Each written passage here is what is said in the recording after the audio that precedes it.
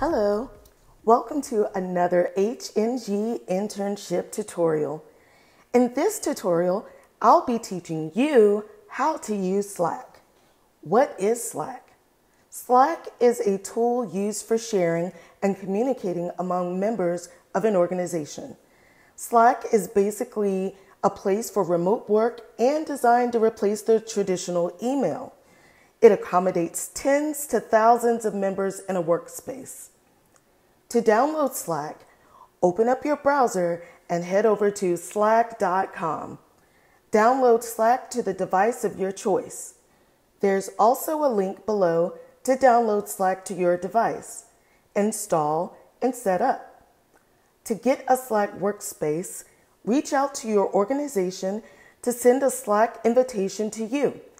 Register with your email and you're automatically signed into your organization workspace.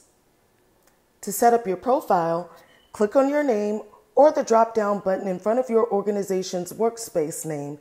On mobile, click on the three vertical dots. Click on View Profile, click on the Edit Profile, then set up your profile picture, your full name, display name or username, and other necessary details, and save. The lovely thing about Slack is there are different sections for different information and discussions. On Slack, there are sections called channels. Think of a channel like a department in an organization. Here, I have the announcement channel, Team Falcon channel, Stage 2 channel, Discussion Mentors Only channel, and so on. There are mainly two types of channels. There are the public and the private channel. The type of workspace you're in determines the type of channels you see. For instance, the public channel. On Slack, public channels are accessible to everyone in the workspace to join, but there could also be restrictions. The private channel, here only members of a department or team can join, and it's restricted by invite. A lock symbol in front of the channel it indicates it's private. In the HNGI7 workspace, there's the public and private channel.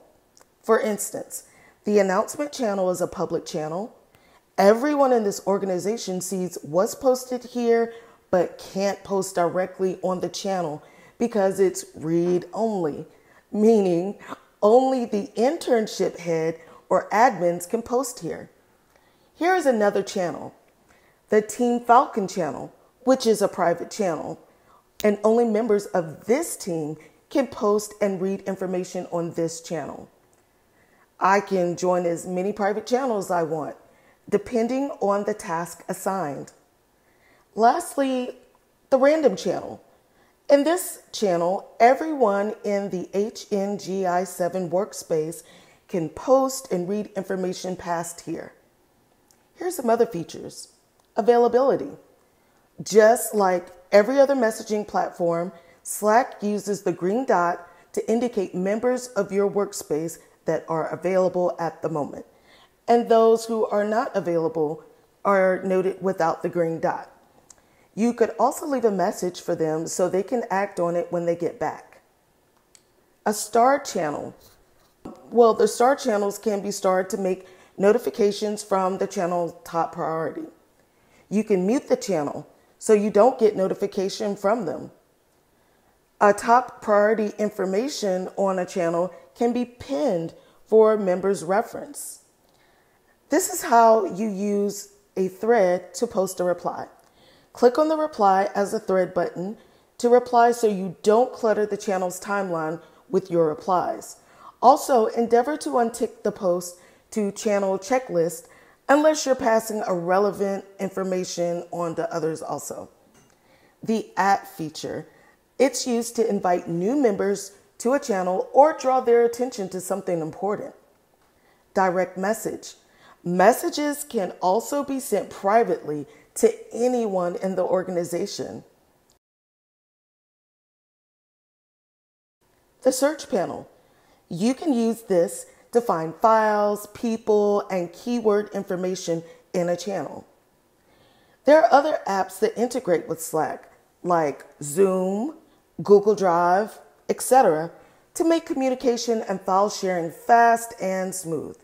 For instance, I could make a video call with everyone in my team using Zoom directly from the Slack. Here's all I've got to do. On the message input space, I type in forward slash Zoom. And finally, I initiate the Zoom call. Thank you for watching, and please like and share to support our hard work.